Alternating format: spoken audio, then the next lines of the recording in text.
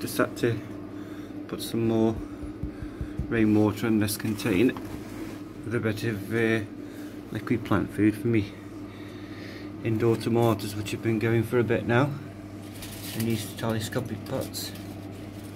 Um, obviously well rooted now. Stem all the way up. See if I can just remove some of this foil. Can you see the roots? They're all nice roots in there. Nicely growing. Just got to try to get the foil back on there. Resting on the pot again. Just so we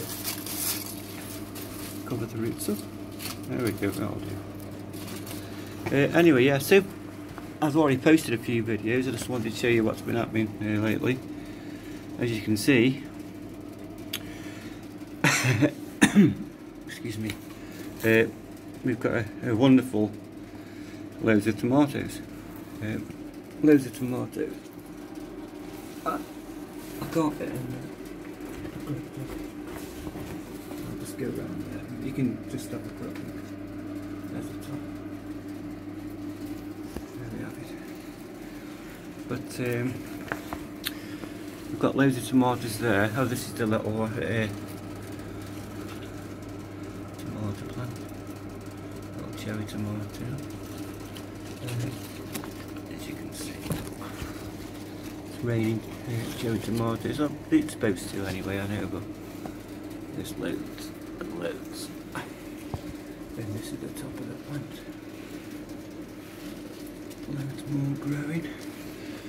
Uh, loads of flowers on both of them. And all the flowers have turned to uh, tomatoes, so yeah, I'm inundated with tomatoes. Uh, these look like they'll be going to red soon. And there's bunches and bunches of them. And it's worked well. It's only coco and perlite, don't forget, with some clay balls in the bottom. Uh, both the pots are rested in some uh, just rainwater uh, and some liquid plant food, and that's it. Uh, and it's worked well, so you're not using much water in these, um, rainwater wise, and um, you're just using some liquid plant food, and it's worked well. The coco and perlite uh, soaks soaks it up well. The rainwater with the plant food in. Uh, and with me, if you saw the way these grow in these telescopic pots slowly, and as they grow up, covering the stem up, and it's rooting all the way up to the pot, not just from underneath where you plant your tomato plant. And these were suckers, and um, as you can tell, nice and healthy, loads and loads of tomatoes all the way through. And like I said, they'll be growing from the bottom, uh, right next to the pot, so make taking full advantage. Uh, even this is a tiny pot there, lovely and healthy. Um, great root system. Loads more coming there. Be plenty more coming at the top of the plant there. And all in a little grow tent, so it's been well worth uh, showing you. Um, and there we have it. You can grow uh, tomatoes in November and December. I've grown these hopefully getting Christmas tomatoes, fresh tomatoes.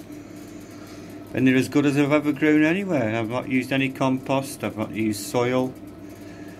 Um, all I've done, I've just printed myself some pots which I thought would work well.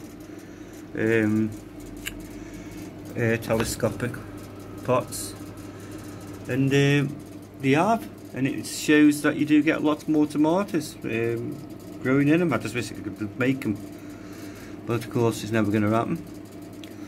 But uh, yeah, uh, at least I've uh, had a go, and uh, that's one of my things I wanted to do, just to show how many tomatoes you get uh, on a telescopic pot. There we go. And these are just from suckers, which have just pulled off another plant and chucked in. Okay then.